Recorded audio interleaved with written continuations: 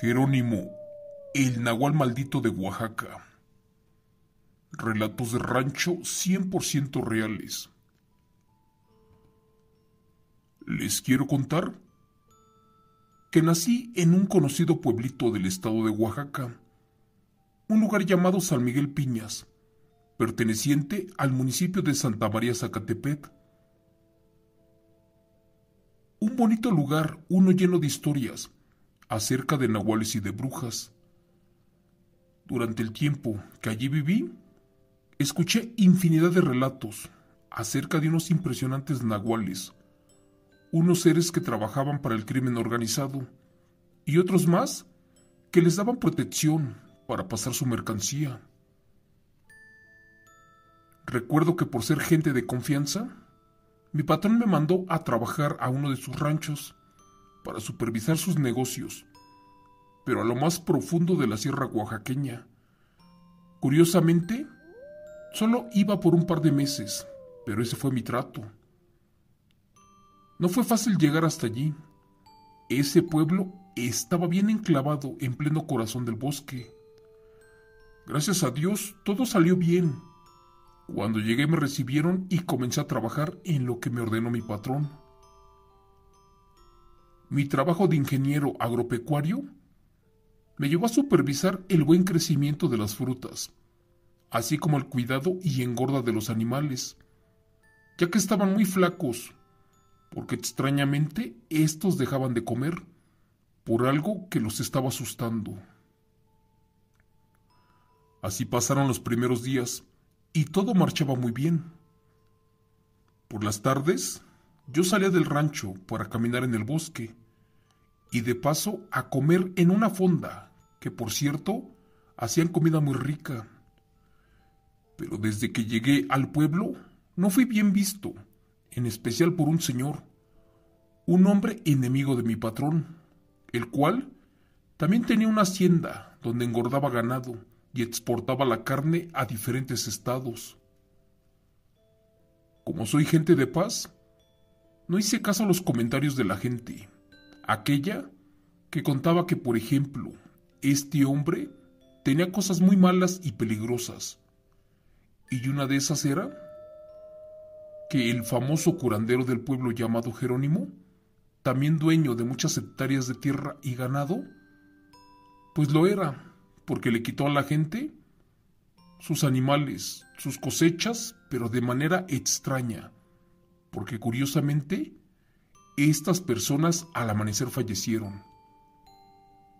Eso sí, al caer la noche, los capataces, vaqueros y gente del rancho encerraban muy bien a los animales, amarraban a los perros y me decían que estaba prohibido salir del rancho porque en el bosque había algo que no era humano y se convertía en un lugar muy peligroso donde tal vez uno regresaría sin vida, porque era un territorio, uno de una bestia, hambrienta de carne y sedienta de sed, la cual salía cada noche.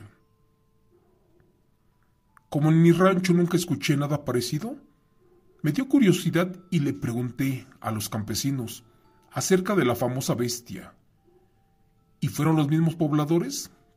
Que me lo repetían una y otra vez. Amigo, por favor, no salga, no se aleje fuera del rancho. Es más, ni siquiera en luna llena, porque allí sale un enorme lobo negro. Otros más me decían que ese era un impresionante hombre, uno que se convertía en diferentes animales, pero especialmente en un perro negro, uno al que las balas no atravesaban.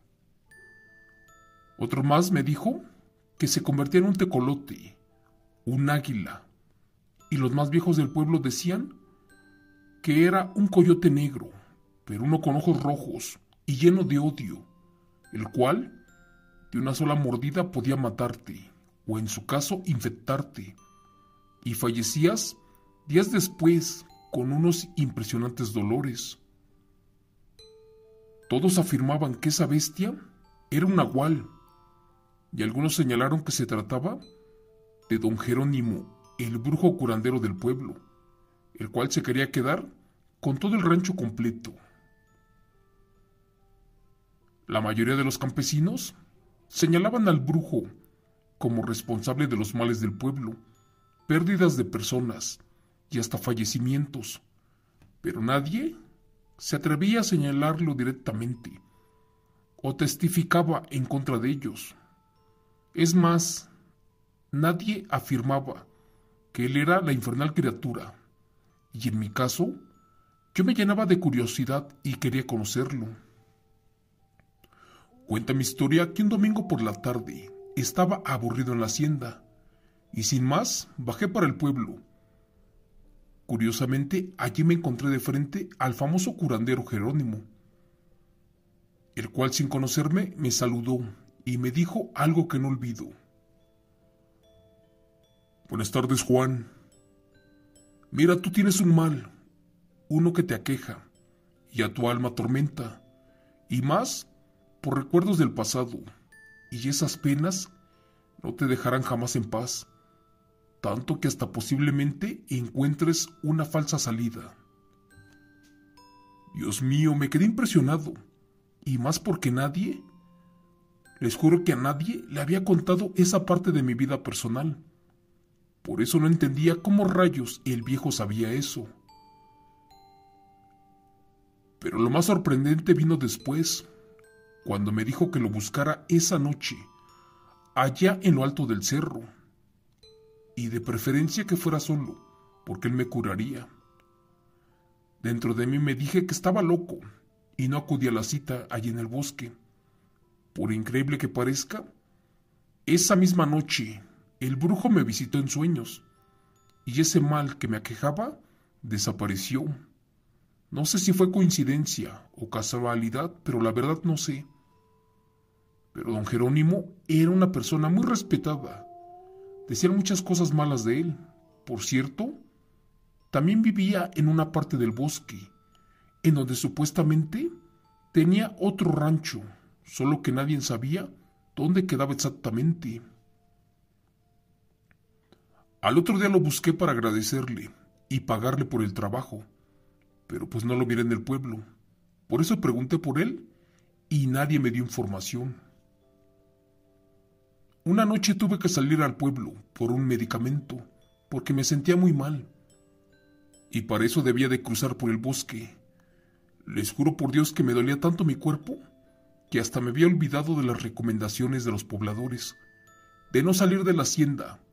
Pero pues no iba solo, salí acompañado de un machete, uno que me regaló mi patrón, y sin saber, este estaba curado.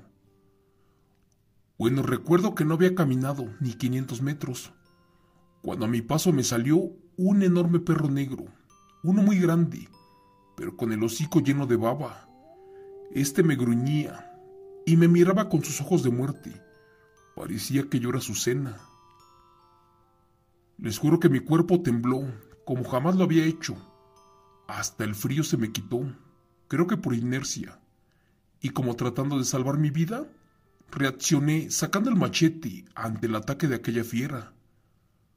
Cuando la bestia se me fue encima, solo levanté el machete y lo dejé en lo alto. Cerré los ojos esperando mi muerte, la cual era segura. De pronto sentí el peso del nahual que cayó encima de mí. Para eso lancé manotazos y como pude me zafé. No supe cómo pasó, ni cómo aquella aterradora criatura quedó aniquilada. Dios mío, ¿cómo algo tan poderoso quedó allí tendido y sin fuerzas? Como sea.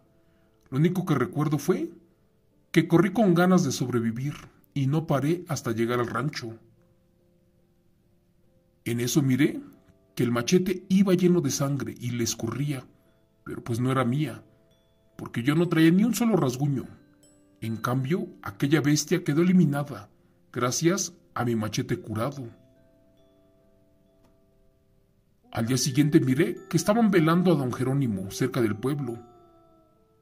Y a pesar de que muchos estaban contentos, otros más tenían miedo, porque esa bestia pues no actuaba sola, y ahora de seguro sus familiares cobrarían venganza. Así que ya no me esperé más. Al amanecer, tomé mis cosas y me fui para la Ciudad de México, a donde me vine a refugiar por temor a una venganza de aquella de la bestia, de aquel aterrador nahual del rancho llamado Jerónimo. Gracias. Relato, escrito y adaptado por Chemo San Juan, de eventos reales de su escritor anónimo.